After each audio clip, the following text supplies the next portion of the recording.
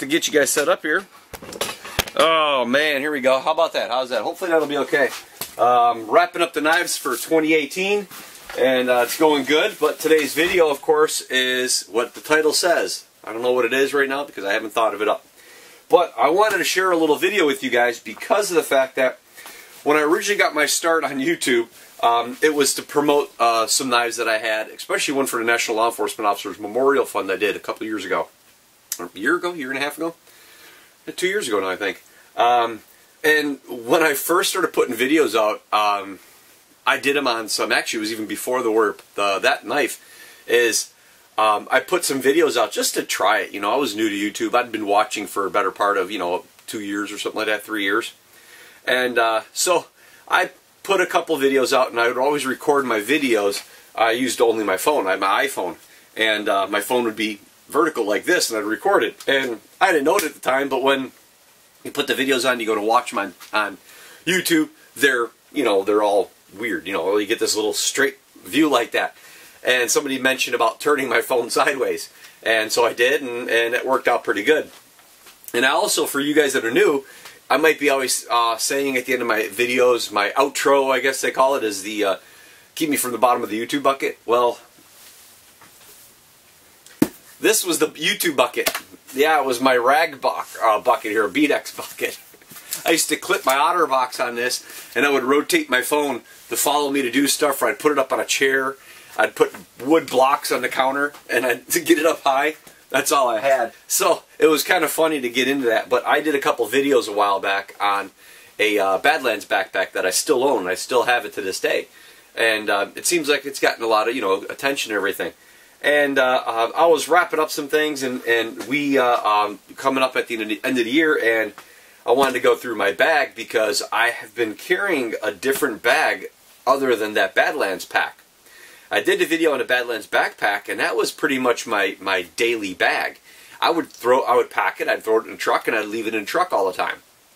But the downfall with that was, is when I got me and the kids in the truck, or my wife and the kids got in there, and maybe we all had our bags, or the purses, and, you know, maybe even when we did some trips, we took the dog with us, and we, you know, Dutch would go with us, and, and it gets crowded. So I'm throwing it in the back of the truck or anything like that, which was also fine, but it got to be to where the pack was just a little bit too cumbersome. Very comfortable pack. To this day, I, I still love that pack. I love the mesh, how it keeps it off your body. It's just amazing. But it is quite large and cumbersome for a daily carry bag. So I ended up getting myself this little black bag here the better part of a year and a half ago and um, I started using it. And honestly, there's actually no actual name on the outside of it. I'll have to go in it and look. Uh, but it says like a little tag here. It says WFS Tactical, and I think I might have bought this at uh, the local Big Five or like a Sports Co or something like that.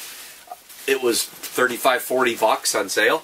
Um, and the reason why I was figuring I'd do the video is because I learned that my kids got their pack about three years ago and they're Coyote Brown, and they're very similar to this. A couple of different strap changes, but otherwise they're pretty much identical.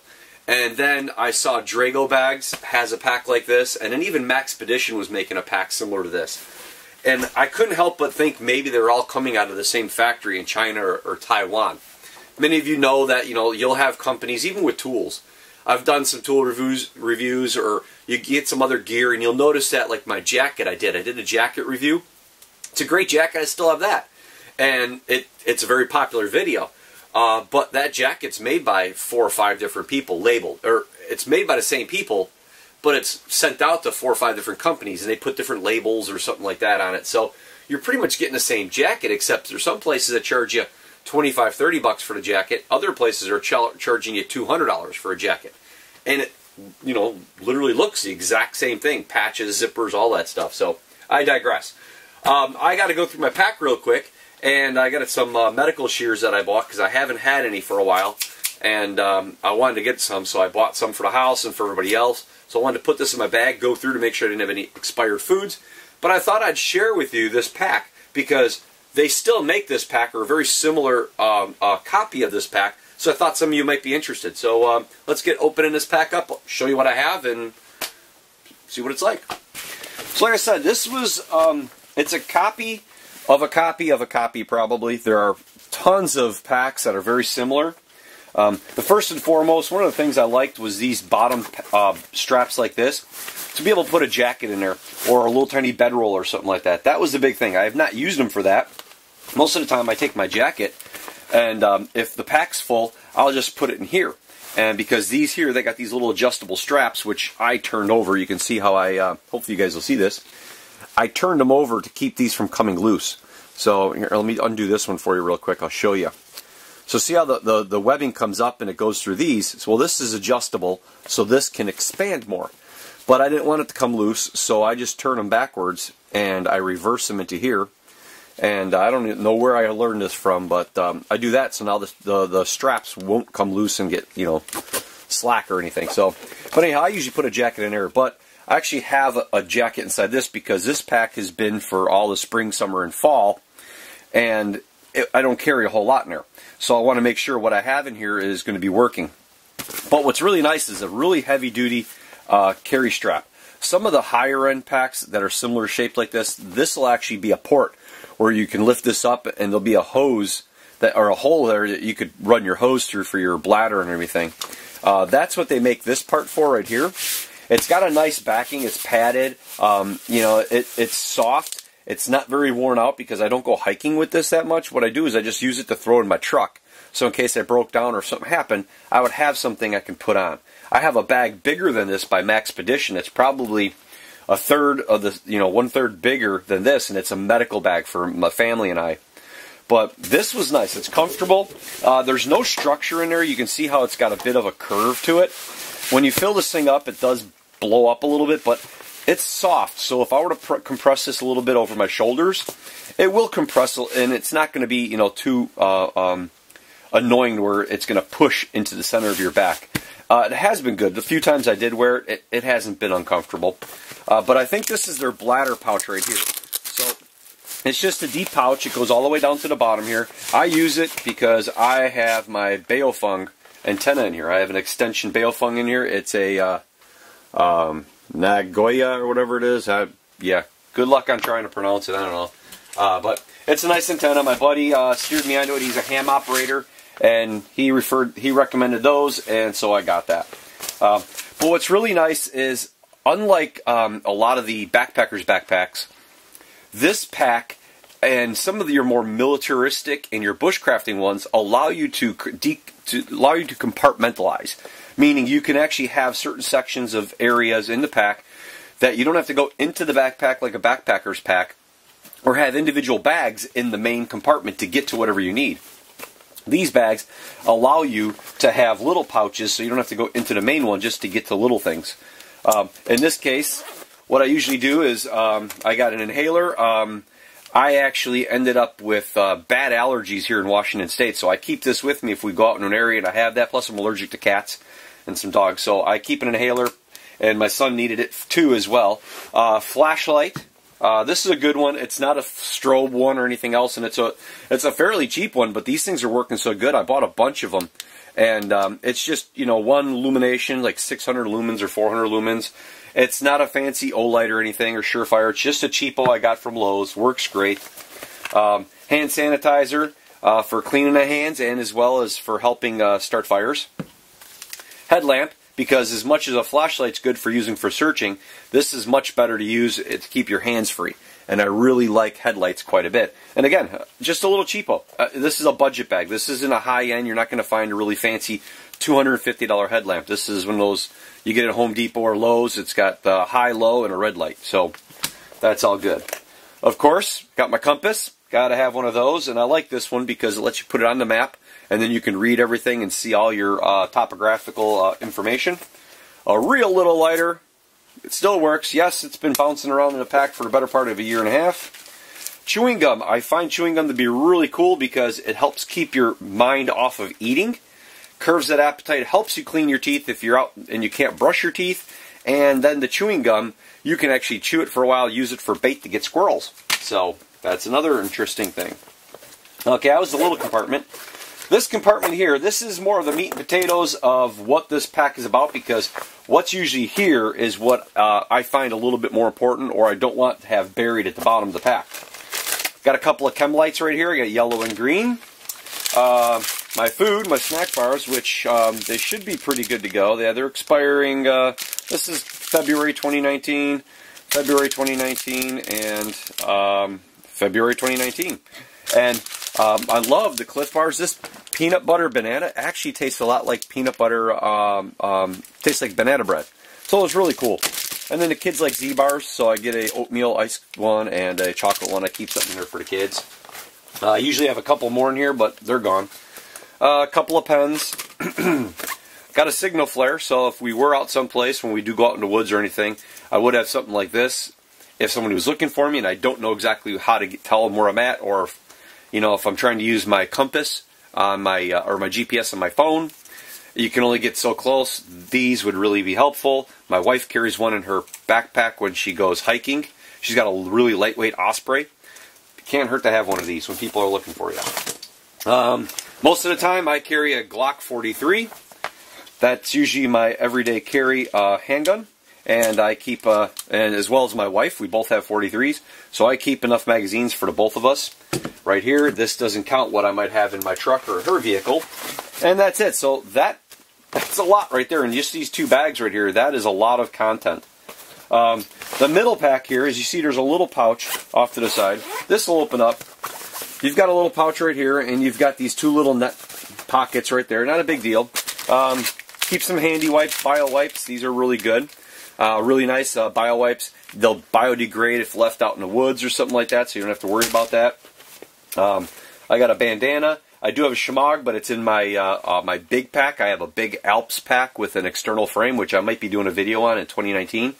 Because I've had that for two years now, and I think it's a pretty nice pack. So I got a bandana, and uh, this is Gorilla Tape. I went with Gorilla Tape versus anything else, only because Gorilla Tape is narrow. Uh, you can't get duct tape like that, or you can fold it over, but I usually have to carry for two or three people, so I just got the whole roll. Um, this is a, uh, um, it's kind of like a paracord, but it's actually, I bought it from a camping store, and it's a little bit thinner. It's not the best for tying knots because it's so smooth like, like paracord is, but it does work nonetheless, and uh, it's a little bit thinner. And I think this had a five, as thin as it was, I think this had a 500 or 700 um, pound tensile strength.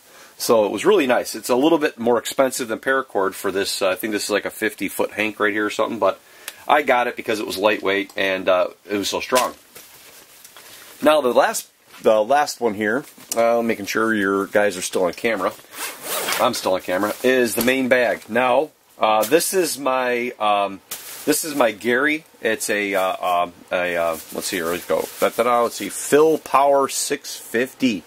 Okay, this is one of those um, uh, packable ones here. Uh, it just says Gerry on it. I think we got this these from Costco It expands. It's full of that polyfill. It's like a feather and a polyester fill combination in the jacket. It's really nice, really warm actually. These things are awesome and super lightweight. Uh, of course, I've got a really cool knife from this knife maker called CK Knife and Tool. and uh, this is one of my Rogues with uh, Kingwood and the uh, decorative pins on there. That's one of the decorative pins. Of course, I'm going to plug my own knife company. So I've got that on there. I keep that inside the pack. Um, really, really happy with Mechanix gloves. I love Mechanix gloves. These are brand new, but I haven't used. I I might have put them on once, uh, but they stay in the bag. But I've had these for the better part since I bought the pack. You know, a year and a half, two years now, and I just love. I use Mechanix gloves all over the place, and that's why I keep them wherever I go. I love the Mechanix gloves, the padding. Um, I don't know if there's a specific name for this this style or not. Um, M Impact. If you guys will see that, that's Impact. And they're large, but I just love Mechanix gloves. Love them the pieces. Um, first aid bag, we'll get that in a second. This is the ham radio. This is a SealLine bag. This has inside here. I have uh, cards that my buddy made made up for me uh, Marine buddy of mine who's a ham operator. He talks to people all over the world too. This guy's crazy. Um, he made, not only do I have the, the Baofeng 6, but he went ahead and made us these cards. And this was just so cool. Between the Morse code and all of our areas, different types of like communication plans, You got U.S. amateur radio bands, how this all goes. I mean, all the different channels for different places. It was amazing. And then uh, I got extra batteries in here, and then I've got my little Baofeng. It's the uh, BF uh, BFF8 HP. And this is a really nice radio and a very strong radio. Uh, so I'll have uh, batteries in here. I have the earpiece, and I also have an external um, battery to plug a cell phone in to charge a cell phone up.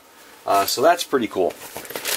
Water purification, um, just the little iodine, part A and B. Uh, I got a Sawyer Mini right here as well as the water pouch. I carry that with. My Nalgene bottle is not in here because I normally keep one in here, but I took it out a while back. I was changing out water and I was using it so much throughout the summer, I wouldn't put it in a bag. I just kept it at uh, at the you know the floorboard of my truck.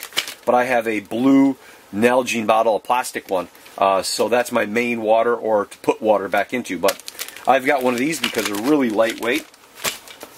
Uh, let's see, I got paracord, regular paracord here, Coyote Brown, um, because as you guys know, I uh, if you guys follow the channel, I do have a little bit of paracord. That is all paracord up there. Yeah, that's uh. I used to buy paracord by the uh, uh, by the pallet, meaning uh, when you went when you bought from the manufacturer, you had to buy twelve thousand feet. That was a thousand feet per roll, and I had to buy twelve rolls minimum. And I would buy 12,000 or 24,000 feet of paracord because I used to make paracord bracelets and necklaces and keychains and motorcycle whips, all that kind of stuff. So that's the remnants of what I had left over. So let's get back. Okay, so that is it for the main pack as well as everything else in there. Oh, I got a little another little bandana in here. So that is it. That's it in a nutshell. I mean, it's a really durable, lightweight pack. This thing's been tossed in the back of my truck. It's been on road trips with us. It's been to Michigan twice um, or no, three times, um, but it's holding up really well. Um, I'm sure guys have, you know, they'll complain because it's Chinese made or something. It's not a Vertx or some of the other packs, which is fine. It's um, this is a budget pack. I mean, this is a $35 backpack right here, and this is what it looks like. It's slightly faded to me. I can see the slight fade. I don't know if you guys will see it on camera, but um, between being out in the trucks and, and being wiped down and stuff like that and bounced around, um, it's slightly faded from when I first got it, but I mean, for a two-year-old pack that's been beat around quite a bit and what it can hold, that's pretty good. Now, my first aid box. This is something I got from Walmart or um, maybe Fred Meyer. They sell these, and it's kind of a, it's like a semi-hard plastic uh, liner, and it's like a that's no that ripstop uh, sill type material around it. Uh, made by Lifeline. That's the company that you'll you might find them. Uh, but yeah, it's pretty nice. It does expand, but it is somewhat of a uh, not hard, but it's you know semi structured. But this is what I normally keep inside here. So we have um, ibuprofen and Tylenol. I got some gloves. Uh, we have um, let's see here. We got this uh, scar. yeah, there's a big story about not having gel, burn gel in there. These were these were the little scissors I had at one time. These are those little scissors in here, and that's what I needed these for. So these are going to go in my bag to replace these little ones, but I'll still keep them in here. Um, again, redundancy, there's some more hand cleaner. I didn't know that was in there, or I forgot. Um, let's see, we got over here, we got, oh, liquid liquid skin. It's a nice little thing. It actually, it's liquid skin like in a jar. You could take this if you don't have super glue. Um, then we have a reflector uh, a mirror here for reflecting, for signaling. We have some uh, triangular bandage, a little bit of gauze, a little spool of gauze right there. Um, tweezers, and let's see what else we got here. We got uh, a little bit of duct tape right here that was hiding. Um, we've got a bunch of band-aids. There's some gauze pads in here and some little tiny boo-boo band-aids.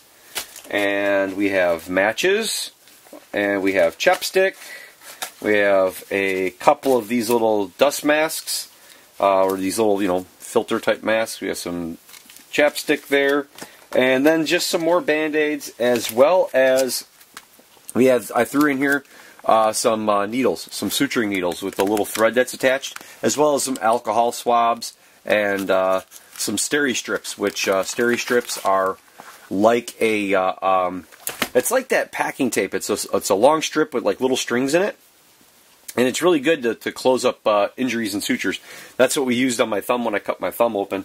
Um, I just instead of getting stitches, we just I just put the steri strips on it and it kept the two flaps together. So, uh, so that is it, gang. That is my my little go bag, my little bob, my little daily pack. So, hopefully it was helpful. Hopefully it wasn't something that was uh, too mundane or boring. I've never really done much of a, a bag dump like this or anything. I know other guys have done that kind of stuff, but I thought I was coming down. I got some other videos to do. I got some other stuff to uh, film and, and package up and uh, start working on some other knives. And so I thought, well, since I got to update my bag, I got to take it apart anyhow to kind of see what's in it. What do I need to add? What do I need to take out? I thought I'd share that with you. So um, comments down below. I do appreciate it. Thank you to all the new subs that have been jumping on board. And uh, until the next video, guys, you take it easy. Remember, like, share, subscribe, all the good stuff to keep me from the bottom of the YouTube bucket or Beadex bucket. Have a good one.